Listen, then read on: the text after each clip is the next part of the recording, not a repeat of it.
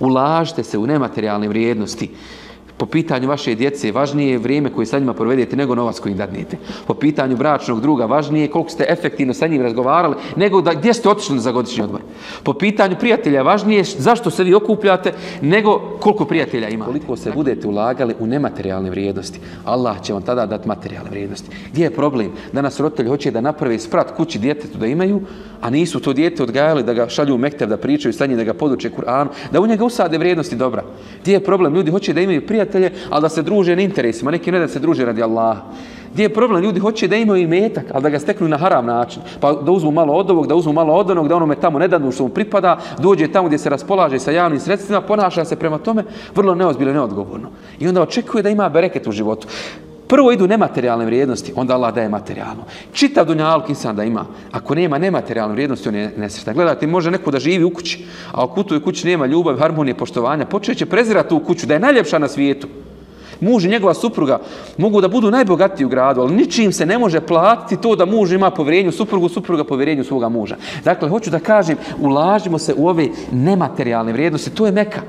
Ulažimo se u suštinske stvari. Ulažimo se u odgoj svoje djece. Ulažimo se u svoj iman. Ulažimo se u lijepu relaciju sa bračnim drugom.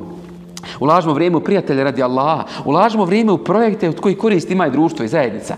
A onda će nakon toga da dođu i metak i plata i sve ono što treba čovjek da zaradi u čemu može da uživa. I zato je dakle prva poruka neka iz hidže bude ovo. Dakle, kada bude ispravna naša meka, kada bude ispravna ovaj, spremno da se žrtvujemo za ideju, Allah će dati ambijent da se ideja ostvari. Ali nemojte da očekujemo političare da nas predvode putem istine, dobročinstva, e, solidarnosti, pravdi i ostaloga. Mi nismo takvi. To me nas Hidža uči.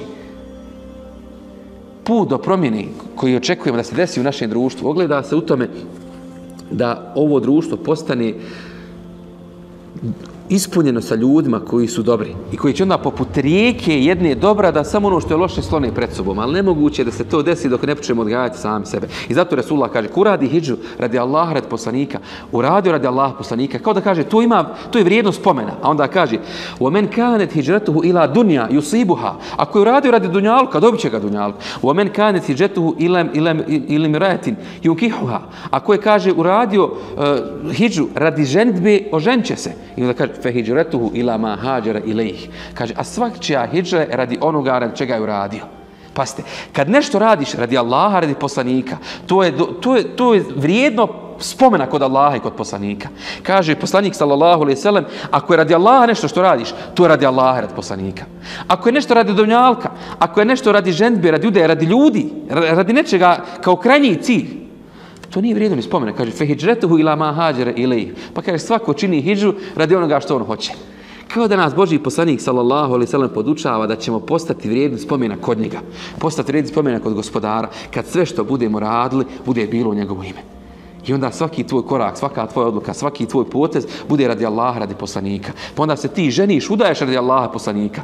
Ulaziš u taj proces ne zato što želiš, da, zato, dakle, ženiš se, udaješ se mladiću, djevojku, zato što želiš da osnuješ porodicu, zato što želiš da ustanete zajedno na saba, zato što želiš da odgajate dijetu islamu, zato što želiš da stičete halal na faku, zato što želiš da imate društvo radi Allaha, zato što želiš da u komšiluku u kojem živite postičete promjenu na dobro. Dakle, to ti je cilj, to je radi Allaha, radi poslanika.